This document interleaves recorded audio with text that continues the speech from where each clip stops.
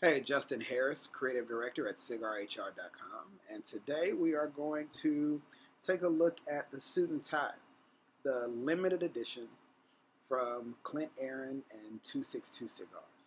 This cigar is a special one to Clint as it um, commemorates his five years in the cigar industry with 262 Cigars. The Suit and Tie was inspired, uh, one, by the song Suit and Tie from Justin Timberlake featuring Jay Z. Um, in the marketing pieces, uh, he says that he came up with a, you know, he was listening to the song in the car and said, hey, let's keep that idea for the cigar. It's actually a blend that he came up with a few years ago that he says he put on the shelf uh, and wanted to kind of save it for something special, and here it is. So the suit and tie comes in two sizes. This is the box press Toro. Nice looking cigar, milk chocolatey cigar. The other size is a Lancero. Has the same um, same band, but it has a just a little bit different, like a little black tuxedo looking thread going through the band. So it's really cool. It's a fabric band as opposed to the traditional paper. So that's really classy, really sleek looking. Kind of goes along with the whole suit and tie motif. Um, now this we're in Uptown Smoke Shops, which is only one of only 25 shops nationwide that has gotten their hands on this limited release. So really fortunate to be here at Uptowns where they have it. Actually met Clint here about a year and a half or so ago. Got a chance to sit down, watch some sports with him, and just kind of talk about uh, the cigar industry with him and how he got into it. So a really cool guy. So Clint makes great cigars. I'm really looking forward to jumping into this one. So in a couple of minutes, we'll cut it, light it, smoke it, and we'll talk about what we're getting. So make sure you check out the pictures on the site. Got some really cool pictures uh, of the box and the marketing for the cigar. We're also including a list of the retailers that are getting the cigar. So make sure that if one of them are in your area that you go and check it out. Support Clint, support the brick and mortar shops that get it.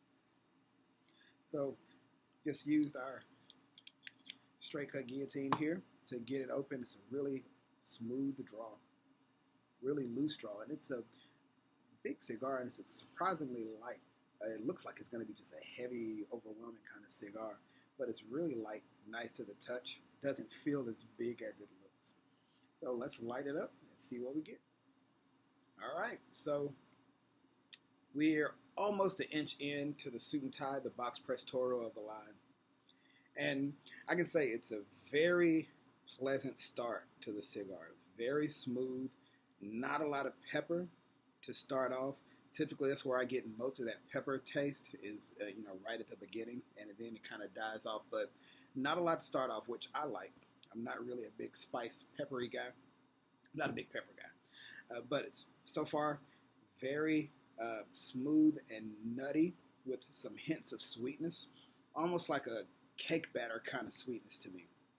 But it's very pleasant so far again, I just have to note that with the size of the cigar, you just expect it to be, you know, kind of tighter on the draw, or you know, you know, just so full that you can't really get that smoke out like you need. But the draw is perfect. You can see uh, when I first came back, there was tons of smoke, so it's giving off a lot of smoke. Um, so I'm really able to kind of get it in my mouth and just kind of swish it around and get those flavors. Um, so so far so good. Um, the burn is starting to um, it's starting to catch up. It's a little wavy, you know, nothing concerning. Um, I typically get that with the box press, where to start off, you know, there's some, you know, it kind of burns a little uneven, but that typically corrects itself. And nothing different on this one. You can tell it's under control, so you can tell it's, you know, still right on. So it's a really good burn, really good draw, good flaky ash. You can see those dark black specks in it. It's kind of cool to look at, like a little zebra, little action going on with the ash. But so far, so good with the box press Toro suit and tie. So we'll keep on enjoying it. We'll get down to about right here, the start of that second third, and we'll talk about it some more. So stay tuned. All right, so we are still here with our suit and tie, and you know, the more I was smoking it, I got to thinking. I was like, you know, Clint was inspired by the song Suit and Tie, so I decided I needed to put it on while I smoked, just so I can get in the zone. Now, one thing that I did on purpose was I let I just let the ash keep going because I wanted to show just about, I just wanted to show and note the construction of the cigar. Now, if you're smoking a cigar while you're in your suit and tie, you're out like at a party or something. Let me turn Justin down a little bit. You're out at a party. I mean, it's a really good looking cigar to have with you if you're out at some type of social event and you're actually in a suit and tie. Now, I'm obviously not in that type of setting, but with the construction like this, you don't have to worry about getting your ash all over your uh, black suit. So I just wanted to kind of show that. But it's holding on really nice. So I'll go ahead and ash it now. But, you know, we talked about the sweetness earlier and the, the, the, the, the little hints of pepper. That pepper has completely gone away from me, which uh, for me is really good. Again, I'm not a pepper dude, so but the sweetness is still there. Um, I'm, really getting a lot of it now, almost like a caramelly type of sweetness. Still a little nutty. Um, so far, though, body wise, I would say um, mild to medium, uh, kind of on the medium side, uh, but definitely not a full body cigar. So it's a really pleasant cigar. It's a really nice social cigar. Looks good, tastes good. It's not overwhelming in any way. So again, I told you that the burn is just right, so it's still right on. So it's still, you know, performing well for me, still tasting great. Um, and we're going to keep on going and see if the flavors change any. But so far, the change that we have picked up um, have been pleasant More so on the sweeter side. Again, kind of a caramelly um, coffee sweetness, creamy coffee, like really uh, creamy. But again, no pepper at all. So still enjoying the suit and tie, the box press toros from Clint Aaron and 262 Cigars. And we'll keep it going. Stay tuned. So we're getting into the final third of the suit and tie. And before we keep talking about the flavors and the experience, I wanted to give you a little bit of background on 262 Cigars. When Clint was here in Nashville, my burning question for him was why 262? You know, I know that as a former accountant, numbers play a special role in this life, so I knew there had to be a special significance to 262. And, you know, I asked, was that the area code in the area where you grew up, or what does it mean? What's, what's the numbers for? Clint broke it down to me, and it all started to make sense to me.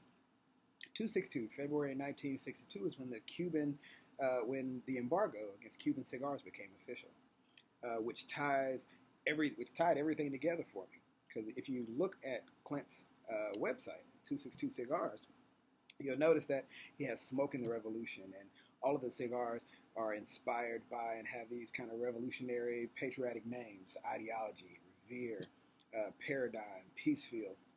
And so it makes even more sense that, as with the suit and tie being a special release, that the name is special also. It's a deviation from uh, the other names of his cigars. Uh, this one is more of a celebratory uh, cigar uh, celebratory of a special release. So it makes sense. It's really suiting. See what I did there? Uh, but again, suit and tie, still enjoying it. We're about to get down to the band. I'll take it off and we'll smoke it all the way down to the end and, and continue to talk about it. But uh, we are uh, still enjoying it. Uh, still nice sweetness to it. Almost has an aroma of tea leaves. So nice sweet tea kind of taste to it. Um, not as creamy as it was earlier, but still very pleasant, very smooth. Uh, still has that nice sweetness to it.